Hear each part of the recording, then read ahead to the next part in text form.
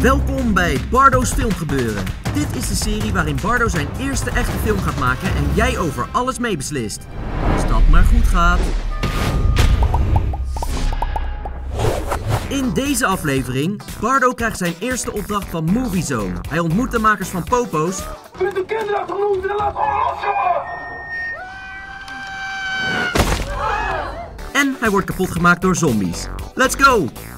Yo, wat up, gasten en welkom bij deze nieuwe Banjo Movie. En dit is een hele vette Banjo Movie, want ik sta hier voor het Filmmuseum AI, waar ik binnenkort mijn eigen film in première laat gaan. Samen met jongerenlabel Movie Zone ga ik een film maken en jullie mogen over alles mee bepalen. Snel naar binnen. In Bardo's Filmgebeuren volgen we Bardo bij het maken van zijn eigen grote korte film. Maar wat Bardo ook wil, aan het einde van elke aflevering is de keuze aan jou. Ah, Mardo. Mark. Dit is Mark Hoeks, ook wel gekke Markie. Hij was al bekend van het YouTube-kanaal S'more en als huisgenoot van Enzo Knol. Maar nu Mark sinds een paar maanden zijn eigen kanaal heeft, is hij niet meer te houden. Heb je een envelop voor ons? Alsjeblieft. De Movie Zone envelop. Hierin staat elke week een opdracht die Bardo helpt met het maken van zijn eigen film. Hoi Bardo, we gaan eindelijk beginnen. Hoi Bardo. Niet hoi Mark, hè?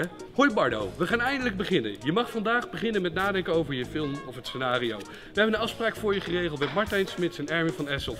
Zij regisseren en schrijven films en zullen je prima kunnen helpen met het maken van je eerste film. Succes! Nou, let's go! Oh. Martijn Smits en Erwin van den Eshoff regisseren en schrijven films. Ze hebben onder andere samengewerkt aan de serie Popo's en de film Zombie. Nou Mark, hier zitten we eindelijk met Martijn en Erwin. Wij moeten een scenario verzinnen Ja. voor mijn film. Die gaat over twee maanden in première. Ik zit heel erg te denken aan een zombiefilm. Ja. Welke stap zouden jullie nu als eerste nemen als je denkt, ah, een zombiefilm? Wat, waar, waar denk aan? Hoe ontwikkel je iets? Ga je een korte film maken van 10 minuten? Wordt het even een lange film? van Het wordt een korte film. Een korte film. Nou, Kwartier, 20 minuten. dat klinkt haalbaar als je het over twee maanden af wil hebben. Dus eh, nou, dan praat je over een scenario van pakweg 10, 15 pagina's wat je moet gaan schrijven. Een hele film die valt, staat en bij het scenario, toch? Ja, god, alles is belangrijk, maar het begint bij het scenario. inderdaad. Als het scenario niet goed is, dan heb je een kutfilm. Ja, en dan moet je gaan afvragen van waar begint mijn verhaal, waar eindigt mijn verhaal? Ik snap je punt, alleen nu ben ik wel benieuwd, want wat is voor jullie de beste methode om in een creatief proces te komen? Maar je kan ook bijvoorbeeld geïnspireerd worden door dingen die je leest in het nieuws of, of ziet op het journaal. Of, heb je ook als iemand, nou wat ik laatst heb meegemaakt. Eigenlijk kan je best een scenario verzinnen aan de hand van gewoon een hele vette ervaring of iets prikkelends. Ja, absoluut. Ja. Ik zit nu te denken om een heel spel te op te zetten voor ons eigenlijk met zombies. En zou dat werken, denken jullie? Ja, voor ik denk dat je elkaar wel een soort van kleine, eh, een klein doel moet geven of zo, weet je, als, als personages. Wat, wat was jouw doel in, in, in deze zombie-apocalypse om te bereiken, behalve overleven? En dat, dat geldt ook voor jou. Want Dat dan is zijn we zo meteen tussen de zombies voor je lul. Ja, maar dat is het ook alleen maar. Dat is alleen maar overleven en wegrennen. En, maar Ja. dat moet je niet hebben. Jij, jij, moet, jij moet een bepaald doel hebben als personage. Tof. En ja, voor het proces van het schrijven van een scenario is eigenlijk concluderen. Moet je gewoon creativiteit, je moet jezelf kijken hoe je best creatief kan worden en ervaring. Uitdagen, dwingen, vragen stellen. Dat, eh, Ja. ja. Vet? En heel veel bedankt voor het interview. Graag gedaan jongen. Wij hebben weer een paar ideeën verder. Dankjewel. Bedankt. Succes! Dus naar aanleiding van het gesprek kwam ik er wel achter dat een personage in de film moet een doel hebben. En rondom dat doel bouw je een soort scenario. En het enige wat ik op dit moment weet is dat ik een zombie apocalypse wil. Dus ik dacht bij mezelf, hoe gaan we nou iets vets maken? Dus we verzonnen een zombie apocalypse spel. En ik belde de productieassistent om te kijken of zij dat kon verwezenlijken.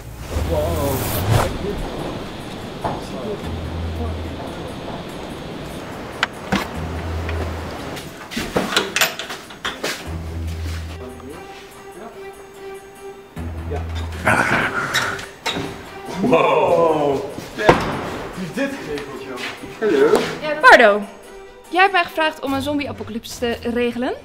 Die is heel toevallig achter mij gaande.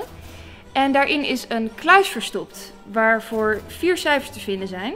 Op blaadjes, voor jullie allebei vier. Ja, Mark en Bardo, ren die zombie-apocalypse maar binnen en vind de code van de kluis. Mocht een van jullie de kluis openen, dan vind je daarin iets waarmee je de ander duidelijk kan maken dat hij verloren heeft.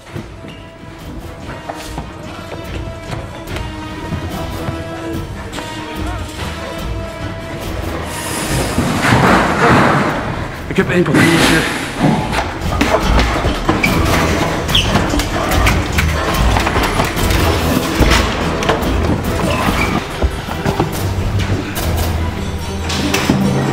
Ja hoor, hij heeft er weer één te pakken.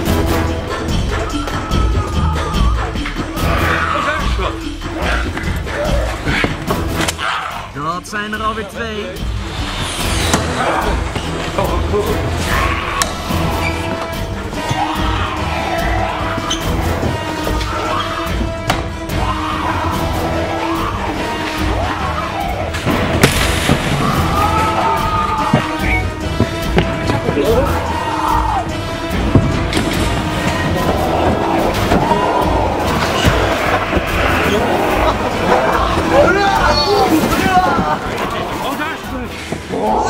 Ik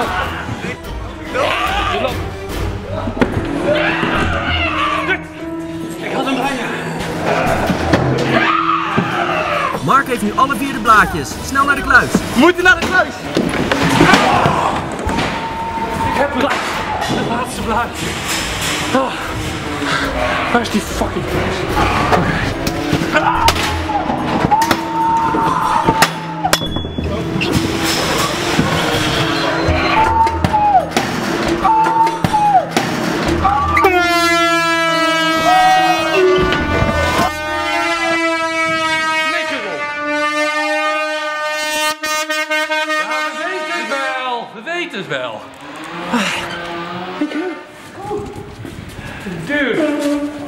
Motherfucker. Oh, ik ben blij met je nou, hè? Gefeliciteerd. Ik heb ze ook net, allemaal. Oh, fucking kut. Nou, gefeliciteerd man. Ik ben kapot. Ik ook. Dit zombiespel was er natuurlijk om een scenario te verzinnen voor de film. En geloof mij als ik zeg dat ik redelijk veel heb kunnen verzinnen. Want zombies zijn gigantisch vet voor één minuut. Na meer dan één minuut zijn ze irritant. Ze achtervolgen je, ze rennen en ze doen maar. En serieus? Ik heb mijn conditie van de afgelopen vijf jaar in één dag bijgewerkt via Tokio. Niet normaal hoeveel je moet rennen voor zombies. Ze zijn verschrikkelijk irritant. Je kan nog beter in een bejaardentehuis lopen met 50 bejaarden achter je aan die ook half vers en dood. Ja, je snapt hem wel. Ik heb heel veel informatie gekregen om een scenario te schrijven voor een zombiefilm. Maar er is nog één ding. Want Mark mag namelijk jullie de keuzevraag voorleggen voor deze week. Wow, Mark, wat was dat vet, ouwe. Ja, dat was super dope. Dat was echt Ongelooflijk Ja, ziek. zeker. En het is het einde van de aflevering. En op het einde van elke aflevering mogen jullie een keuze maken voor mijn film. En jij mag de keuze voorleggen. En dan weet je wat stoms doet, hè? Ik...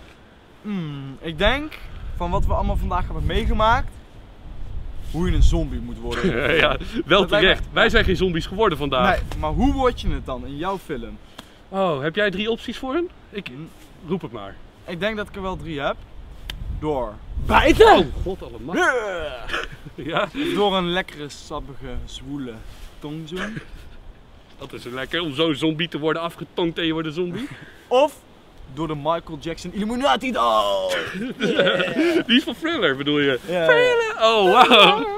Dat is iemand die dans doet dat je daar helemaal... Nee! Nee, doe, doe, oké, oké, stop, ik doe het al. En dan wordt iedereen een zombie. Gruwelijk. Jullie mogen kiezen. Hoe word je een zombie in de enige echte Banjo film? Linkje om te stemmen staat hier beneden in de beschrijving. Linkje naar Mark's kanaal ook.